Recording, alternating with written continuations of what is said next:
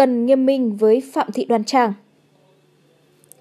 Phạm Thị Đoan Trang là tên tuổi khá nổi tiếng trong làng dân chủ Việt, với nhiều hành vi và hoạt động đi ngược lại với lợi ích toàn dân tộc.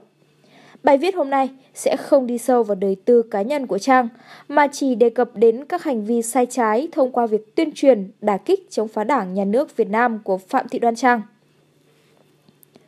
Đoàn Trang với danh nghĩa là người đứng đầu mạng lưới blogger Việt Nam cùng với nhóm Green Cheese đã có rất nhiều hoạt động móc nối, cấu kết với các thành viên trong các nhóm, đối tượng và tổ chức phản động trong và ngoài nước để tuyên truyền chống phá Việt Nam.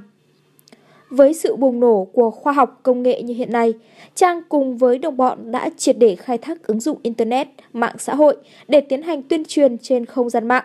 Lợi dụng Internet, mạng xã hội thời gian qua, Trang và các nhóm đối tượng đã tăng cường hàng loạt các chiến dịch tuyên truyền đả kích chế độ, lôi kéo kích động quần chúng nhân dân tham gia các hoạt động trái pháp luật.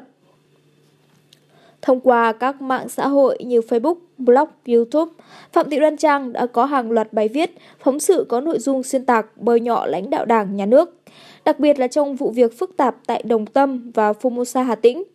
Vấn đề giải tỏa mặt bằng tại Bắc Ninh. Y luôn tự nhận mình là người sẽ đem ánh sáng đến cho chế độ Cộng sản ở Việt Nam. Cũng thông qua đó, Y luôn tự cho rằng sẽ đưa người dân Việt Nam đến một nguồn tu duy mới. Đó chính là theo chân Mỹ và các nước Tây phương. Trang đã từng quy phục dưới lá cờ vàng ba sọc vào năm 2014 khi có dịp giao lưu với chế độ tay sai đánh thuê Việt Nam Cộng Hòa. Không dừng lại ở các hoạt động tuyên truyền, mà Phạm Thị Đoan Trang còn tiến hành các hoạt động cổ suý cho các đối tượng chống đối trong các nhóm cùng phe cánh như No Hill, Hoàng Sa. Các phong trào kêu gọi xuống đường biểu tình đều được y nhiệt tình hưởng ứng nhằm thúc đẩy một phong trào giã chiến ngay tại lòng Hà Nội hoặc các địa bàn trọng điểm trên cả nước. Phạm Thị Đoan Trang đã tham gia hàng loạt các chiến dịch đà phá chế độ. Điều đó đã tác động ảnh hưởng nghiêm trọng đến nhận thức, tư tưởng của quần chúng nhân dân trong nước.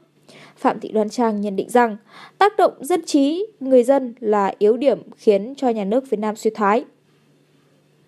Gần đây nhất, Phạm Thị Đoan Trang, tác giả của cuốn Chính trị bình dân, đã gây ra nhiều sự hoang mang trong đồng bọn của Y và chúng tự đắc cho rằng chính quyền Việt Nam đang đi theo hướng bác bỏ tự do quyền con người và ngoan ngoắt đưa tuyên ngôn quốc tế nhân quyền tại Điều 19 vào cuốn Chính trị bình dân để đả phá chế độ. Và điều đương nhiên, cái sai trên hết của Y là cuốn sách này hoàn toàn chưa được cấp phép và cũng không cho lưu hành trong nước.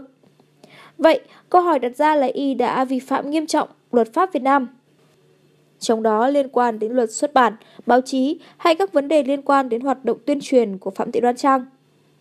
Phải chăng pháp luật Việt Nam cần phải có sự nghiêm minh hơn đối với những kẻ như Phạm Thị Đoan Trang để y không còn những hoạt động quá chớn, gây tổn hại nghiêm trọng đến hình ảnh đất nước?